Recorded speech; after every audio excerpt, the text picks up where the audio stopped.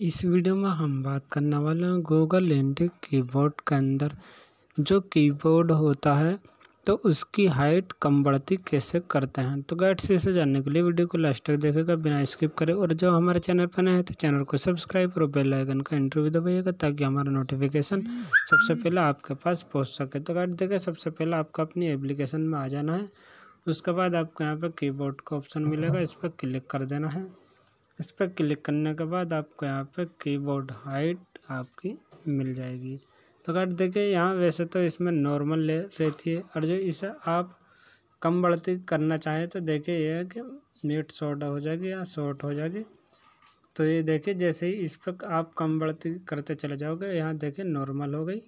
और ये देखिए थोड़ी सी आगे करोगे तो मिड टेल हो गई और यहाँ पर आ गई आपकी टेल तो गाइड्स अपने हिसाब से इसमें यहाँ कीबोर्ड की हाइट को कम बढ़ती कर सकते हैं। तो गाइड्स ये प्रोसेस रहता है इसका। तो गाइड्स यहाँ वीडियो पसंद आई तो वीडियो को लाइक और चैनल को सब्सक्राइब करना ना भूलें। तो फिर मिलता है अगली वीडियो में। जब तक के लिए बाय एंड टेक यू